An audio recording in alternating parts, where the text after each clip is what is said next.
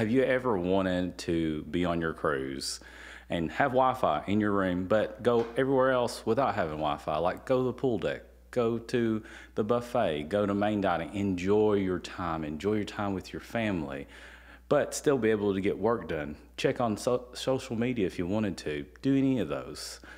Well, here's the best cruise hack for you all.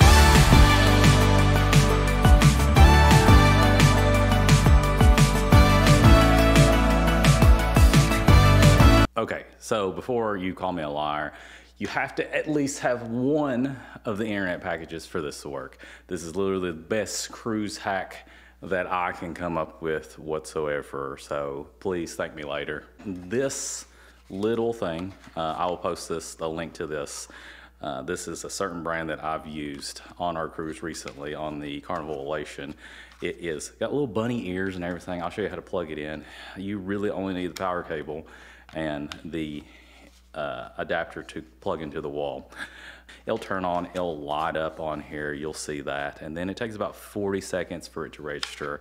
Everything on the actual uh, information and everything else you need is on the bottom of the router. It'll have the MAC address and basically the password, how to find it, what's the name of it. You can change all that in the settings. This Wi-Fi router is specifically the GL.iNet router. It's a travel Wi-Fi router repeater or hotspot, however you want to call it. Right now it's $39.90. There's a 15% coupon on it. So there's more expensive ones of these, but you don't need them. Just trust me. This works good. Plus, you're going to save a lot of money in the long run just getting this repeater. This device is basically a Wi-Fi repeater. Essentially, it takes the cruise ship Wi-Fi signal that you purchase in one device and it clones your phone or whatever device you pick to the router and it spreads that signal to whatever device you want. So you only need to purchase one device on the cruise ship, no matter what ship you're on. So the first thing you need to do is access the Wi-Fi on the cruise ship, whether it be Carnival, Royal, Norwegian, Princess, anything first. Do that first. They're all different, so I won't be able to set that up for you at all. So the next thing that I'll do is I'll show you how to set it up. It's pretty simple. Once you wait about 40 seconds to a minute, it will get a good signal. You need to connect to it then I will show you going from that point on. Once you get connected, basically we're going to use your phone or your desktop. I'm going to use an iPhone here in this case. Basically take the Wi-Fi off of there and put it onto the router itself so it can spread the signal to whatever device you want to connect to or whoever you want to connect to your device. I'll let you follow along with me. You go into settings here you go into your Wi-Fi, you find the network on here. It should be the GL, whichever one your address is on the bottom of the router. You click on that, you enter the password, which is usually the same. It's good life. It's not too hard to guess. It, literally all of them are the same one. So you want to change that. And then once you get that done, it will connect to the actual router. So now you're on the network of that. So there is an IP address that you want to go to. It will put, it'll have it on the bottom of the router. I believe they're all the same. I think it's 192.68.168.8.1. All of them are the same. Uh, so you'll come up to a screen and it will have all of these options on it. Uh, you can also set up a VPN, multiple things on here to protect yourself, which we won't get into.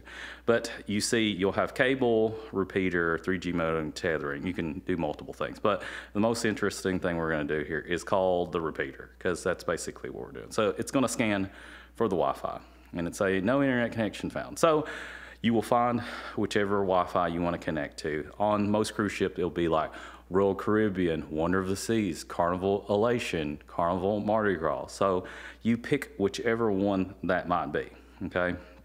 And you put in the password, whichever one this is. So I'm gonna do this for my own since I'm home. And once you get that, it will take it a few seconds. You can hit remember so you don't have to repeat this process because it's kind of painful. Once you have that, you'll have a success. So you'll have whichever router you picked. Obviously, this is certain IP addresses. I'll have to block that out a little bit. Either way, you have it connected. That's the main thing that you want here. So you're like, well, it doesn't work. It won't connect to any of my devices. It's not working. So you got to go here. We're going to go into more settings. So you want to go to Mac clone here because basically all the Wi-Fi's are registering your MAC address. So it will show you your MAC address. It'll show you the default MAC address. I'll have to block these out for you. But pretty much what you want to do is you want to clone your Wi-Fi address. So basically you want to delete this whole address completely. So once you have it completely deleted, you want to put in your own Wi-Fi password.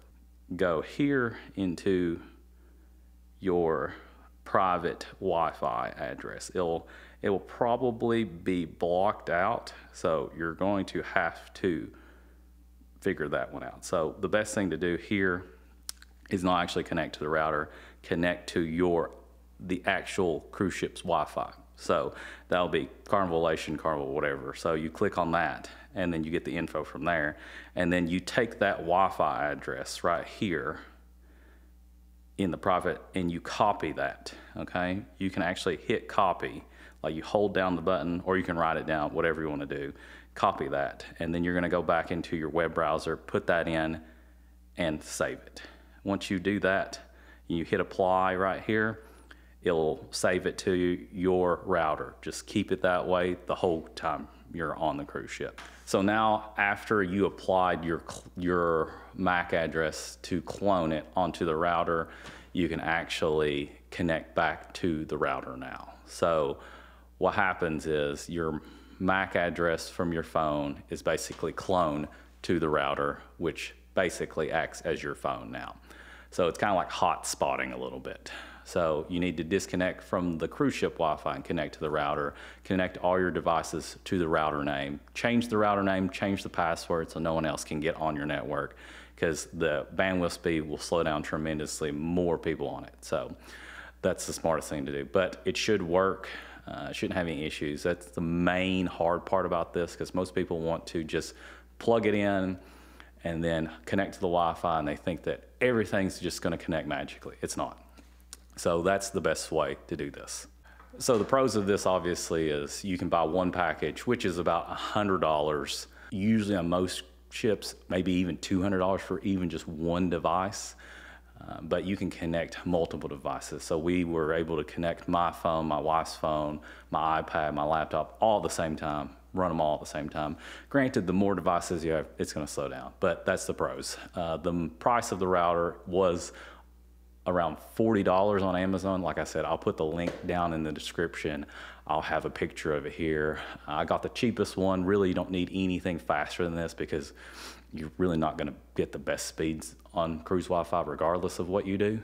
The only con that I had with this router is anytime you leave the room, this may just be a carnival scenario, uh, but anytime you leave the room and you try to connect back to the Carnival Wi-Fi, it'll boot you off because you can't have two MAC addresses on the same Wi-Fi because it thinks that you're stealing the Wi-Fi and you're not registered. So the simple quick fix to this is just unplug the router and you can still use your phone connected to the Wi-Fi of the cruise ship anywhere. Granted, no one else can use it at that point. And then once you get back to the room, plug it in. It takes about 40 seconds to a minute for it to get the signal and to send it out to whoever you want it to. But that's essentially how you do it. If you have any questions, any kind of like troubleshooting or anything like that, uh, just leave them down in the comments. I should be able to help you out. Basically, you just need to clone your address. Setting up VPNs, firewalls, and everything else, a little more complicated. Probably won't get into that. Most people aren't looking for that. You just need to have a good password on there, and then you just give the password to who you want to give the password. Say your uncle's in the next cabin beside you, or he's across the hallway and he can still pick up the router.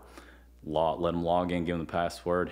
He'll save a lot of money. So you got 11 people in your family and you're all connected and you just want one device. You can connect them all for the price of one. Granted, hopefully the cruise ship will never block these, but I don't see how they would do that without just banning routers completely, which hopefully they won't do. But if this helped you in any way, like, comment, subscribe, leave me comments. I'll help you out best I can. Hopefully this is the best cruise hack that you've ever run into.